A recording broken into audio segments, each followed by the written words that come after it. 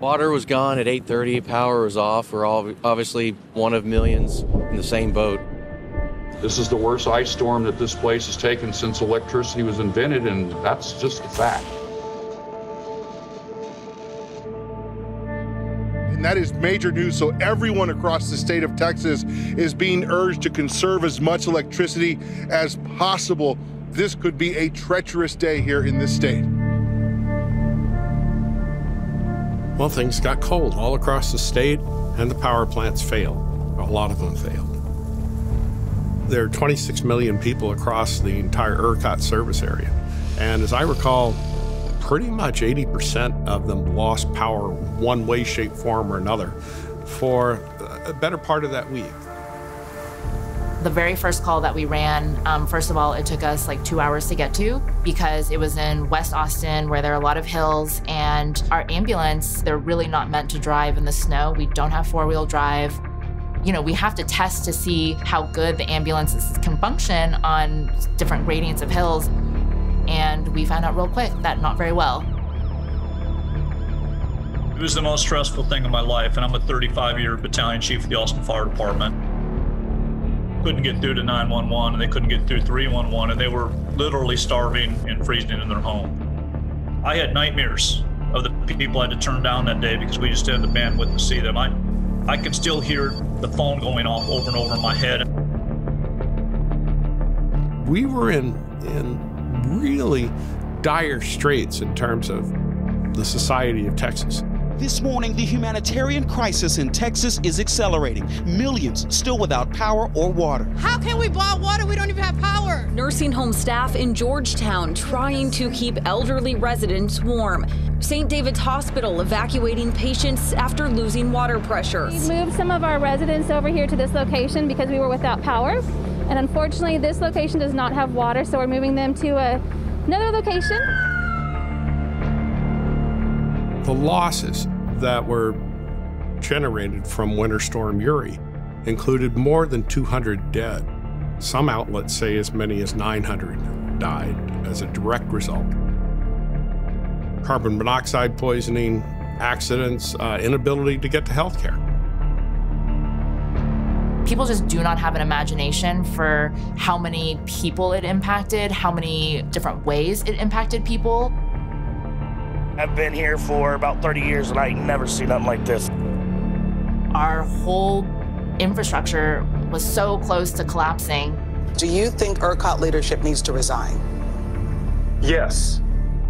We were four to five minutes away from losing the entirety of the ERCOT grid due to a complete system failure. It's unfathomable to think that we would be without power in this state for a week or two weeks, let alone months months it would have taken us to restart this grid. I mean, it really would have become uh, like a truly global scale humanitarian crisis at that point, given how many people live in Texas. The energy grid is a civilizational life support system. And without it, modern society collapses very quickly.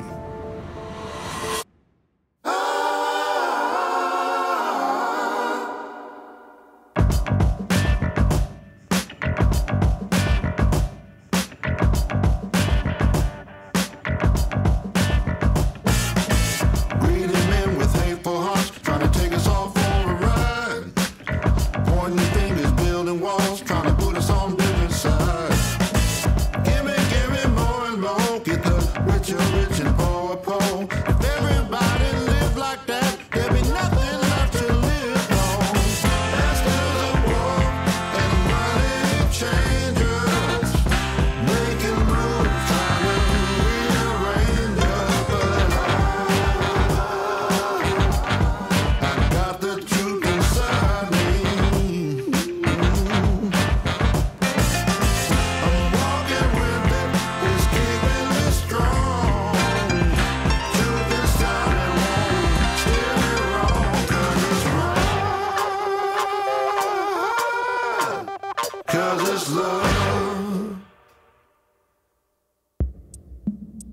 The extreme winter blast has left millions of people without power. 4.2 million still have no electricity at this hour. Moments away from a catastrophe that would have plunged Texas into a total blackout. Some are blaming frozen wind turbines. She says the wind turbines are all frozen. Windmills did all this. Our wind and our solar got shut down, and, and they were uh, collectively more than 10% of our power grid. It's all the windmills' fault, Governor Greg Abbott says. Greg Abbott's lying through his teeth when he's blaming renewables. The windmills failed, like the silly fashion accessories they are, and people in Texas died. The idea that frozen wind turbines blamed on Alexandria Ocasio Cortez caused this is a preposterous lie. The right blamed renewables and the left blamed natural gas. But with an industry as complex as electricity, the answers are rarely simple. We spoke with experts far and wide, but none were as prophetic as Meredith Angwin, who spent her career in the electric sector after getting her master's degree in chemistry from the University of Chicago. Just four months before the Texas blackouts, she published a book titled Shorting the Grid, in which she laid out exactly how something like this could happen. Then, Winter Storm Uri slammed Texas, and our expert became an oracle. Before I began writing about energy, I was doing research on improvements for energy for power plants of various kinds uh, geothermal power plants, coal plants, gas fired plants, and nuclear plants. The more I learned, the more I realized the grid was getting more and more fragile, more and more expensive. Rolling blackouts in all kinds of areas were becoming more and more possible, more and more likely the Texas grid almost collapsed because I call it the fatal trifecta for a grid, and too many grids are chasing it. The first part of the fatal trifecta, over reliance on renewables, which go on and off when they want to. The second part, over reliance on natural gas, which is delivered just in time and can be interrupted just in time through a variety of methods. And the third part is relying on a neighbor to help, we have overinvested in renewables and underinvested in more stable thermal generators. And why that has created unreliability problems is because renewables don't produce all the time, unlike other power plants. And so that means that they need a lot of backup. That backup is generally going to be just in time natural gas because it is, well, just in time. Now, a lot of people will say, and also they weren't connected to other grids. You know, actually, that didn't make a bit of difference because when you're connected to other grids and there's a weather crisis, those grids will not share with you. They got their own problems. People don't really understand what's going on. There are choices being made about the grid, and they're not being made very publicly. Everyone thinks energy is like any other commodity. It's the milk comes from the store mentality. But it doesn't. Somebody has to milk, feed, and take care of that cow. Uh, it's ERCOT that is responsible uh, for ensuring that. So ERCOT stands for Electric Reliability Council of Texas, and they showed that they were not reliable. Politicians, like most of us, are energy blind. We simply don't understand energy well intuitively, and our education doesn't remedy that defect. As a consequence, even very well meaning politicians make dangerous mistakes about energy. For energy systems, planning is key. The system must be ready at any time to serve California's entire energy load at its peak. So I'm prepared to say that this is a failure of judgment rather than a conspiracy. Nevertheless, it's a very serious failure of judgment, and I think actually reprehensible because how difficult is it to learn some basic physics and see these things? We have basically turned our electricity grid into one big Rube Goldberg machine. And we're just really hoping that as the marble knocks everything over, that means that you get to turn your lights on. The grid is becoming like a delicate wine glass that if you just touch it, might break. The energy policies that we're pursuing threaten what we take so for granted. The place that they end is with a perilous electricity system. It's hard to overstate the importance of the grid. The electric sector is among the world's biggest businesses. In the US alone, electricity sales total about $500 billion per year. The power sector is also the world's biggest emitter of CO2. To combat emissions and address climate change, we're spending billions. But are we spending that money in the right places? And how has it impacted the integrity of the grid?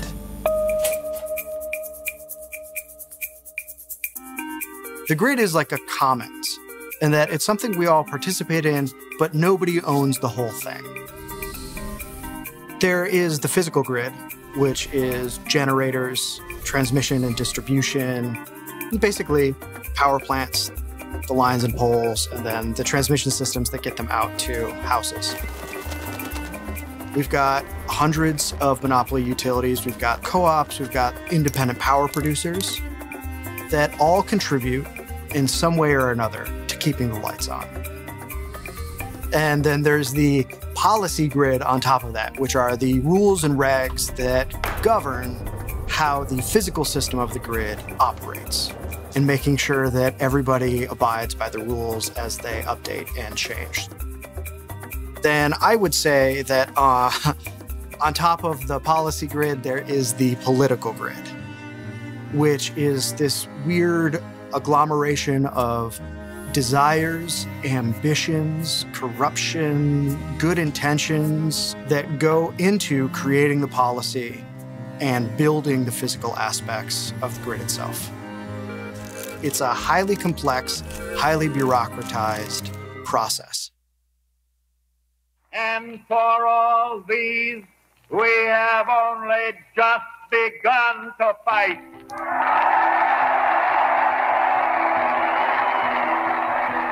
Of course, we will continue to work for cheaper electricity in the homes and on the farms of America.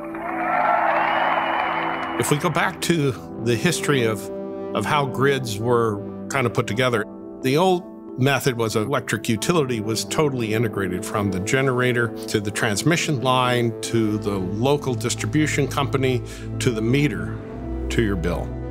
The approach there was to allow electric utilities to do this as a matter of public policy, but also to make sure that they made a rate of return that was not excessive. So you see, the increase of more than four to one in volume of business has meant nothing as far as profit is concerned. The way that the electrical grid works is that it's a natural monopoly, meaning that it was very early we figured out that we didn't want to have multiple companies competing to string up wire from everybody's house. That would become unworkable. It's heavily regulated so that that utility can't increase the electricity rates by too much, which would end up, you know, destroying the economy because everything depends on electricity. As electricity began to make its way across America in the 19th century and, and in the early 20th century, we were all very consumed with trust and antitrust. We made sure that we could regulate these entities economically and hopefully make use of their growth to build the industrial base for the United States. American industry is making the greatest production effort in history to supply our army with ever increasing quantities of the weapons of war. It really took off right before World War II as we began to realize that we had less electricity generation than the Axis powers. the thought that instead of spending, as some nations do, half their national income in piling up armaments and more armaments for purposes of war, we in America are wiser in using our wealth on projects like this, which will give us more wealth, better living, and greater happiness for our children we began to build hydropower plants all across the West. Power and strength from the mills, factories, and people of America. We knew that we needed electricity to basically prosecute the war effort for the United States. Electrical grids used to be designed by engineers overseen by public utilities commissions, and they were very much into providing reliable, affordable electricity for the people in their area. if your utility cut power to you, then they would be fined by their Public Utilities Commission. So not serving the people actually went to their bottom line. Early in my career, I helped design cranes, right? And if you're designing a crane and you have a decision to make the crane bigger and stronger or smaller and weaker, you always go for bigger and stronger. You don't want it falling over and killing somebody. And the grid's kind of like that. You know, if you have a decision to make the grid more reliable and more robust, that's the path you choose. That's how the electric industry grew. Reliability and affordability went hand in hand. But with the headlong rush to deregulate electricity markets across the country and reduce costs, policymakers began buying the idea that electricity was a commodity instead of a critical service. When price became more important than reliability, blackouts skyrocketed. Thursday marks three years since Superstorm Sandy made landfall. The disaster left millions in the dark. But what if terrorists go after our power grids? I read this book, Ted Koppel's Lights Out. His new book is called Lights Out. About what would happen if the American grid went down for like months. And it came up to like, I don't know, 50, 60% of Americans would die. I mean, it's that that stark. Millions and millions of people were caught by surprise when the electrical grid suddenly crashed. I have a feeling that people think that if we didn't have electricity, well, then we'd talk more, we'd sit around the wood stove and chat. Well, no, you'd eat less. There'd be more canned food and less fresh food. There's so many things there just wouldn't be about our health and so forth. It's all much more dependent on the grid than we want to think about it being dependent. You know, it's not just a way to power our iPhones and television sets. The electrical grid is necessary for hospitals, it's necessary for traffic lights. You know, your wastewater treatment plants need electricity. Your drinking water is delivered by electricity. Your gas stations, the pumps don't work without electricity. We don't have uh, the, the, economy, we don't have educational system, we don't have uh, healthcare anybody can make it more difficult to keep it stable, more difficult to provide power in a reliable manner, more expensive, can game it by taking a couple plants offline and watching the clearing price soar. Taking plants offline in the old grid didn't do you any good. In the new grid, it does. That new grid Meredith's talking about wasn't designed to prioritize consumers. The old grid, the one built by people like Edison, Insull, and others, ensured reliability because if electricity isn't reliable, it's not affordable. Expensive energy is the enemy of the poor. So why has our most important energy network been weakened? Who's responsible? And what can we do to fix it?